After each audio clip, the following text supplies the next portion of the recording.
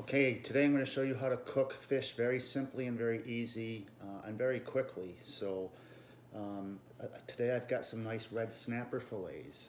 Um, and whatever you can do, you can use any fish, you can use a fillet. Um, always dry it off, rinse it off, pat it first. I like this one, uh, red snapper. There's lots of different types of snapper. There's vermilion, lane, beeliner. Red snapper is the most expensive and actually probably the most flavorful. Uh, but I, I, always get it with the skin on so I can tell if I'm paying the right price because red snapper will always be uh, much more expensive. So here you can see the skin on and the flesh. Uh, a nice portion, I've already um, wiped it down and cleaned it. Um, I'm pairing this uh, with a nice Sauvignon Blanc and I always have a little bit of that to taste it to make sure it's good before I cook. Salute. So with this, it's gonna be very simple. We're gonna use some fresh shallots, fresh garlic, fresh rosemary, fresh parsley, uh, and some breadcrumbs and bake it. So uh, the first thing you do is I like to get everything chopped up. And you can use dried or minced, but it's always, to me, way better if you can find it fresh. And sometimes if I can't find the spice fresh, uh, I go without because you never know how long it's been sitting on the grocery shelf or in your cupboard for that matter. So again, I'm just gonna chop up the garlic nice and fine. I'm gonna do the same thing with the shallot. This will give it a lot of perfume. And, and as you can see, I'm not using a whole shallot, I'm using a quarter of a whole bulb. Chop it up. And since I'm not gonna cook this first, what I like to do is put everything in a little bowl. So as I use it, I mix it up and it's uh, all together kind of evenly. Um, I've got my parsley and I've removed the big thick stems, just the leaves. You, you don't want to chop the stems because it's harder to digest. So here's the stem, I've already removed it. And the best way to chop herbs is you roll them as tightly as you can. Uh, and that way they crunch. So then I got it in a little ball. And maybe you can even hear the, the crunch a little bit. That's not just the stems that are in there, but that's because it's, it's layers and layers and tightly rolled up.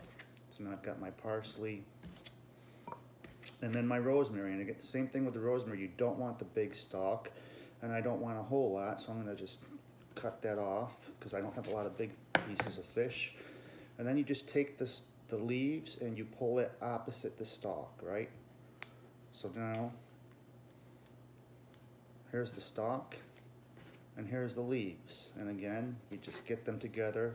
You don't really have to roll these because they're, they're lengthy and they're kind of uh, coarse as it is, but you put them together almost like in a pencil and you can hear them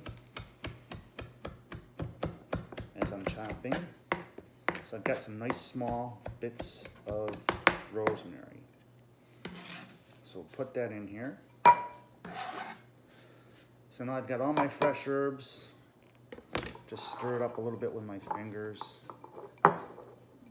Chopped garlic, chopped shallot, rosemary and parsley. I'm gonna take my fillets. Um, I'm gonna use some extra virgin olive oil just to uh, lightly get them a little wet.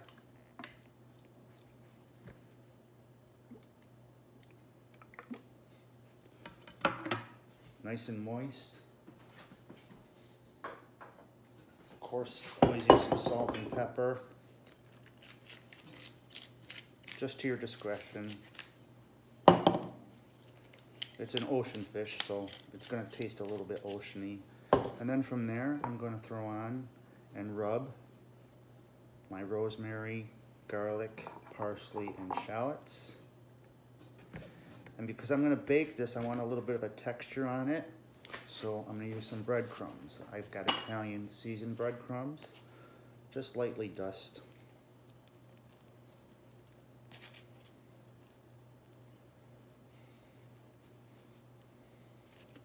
And that's it.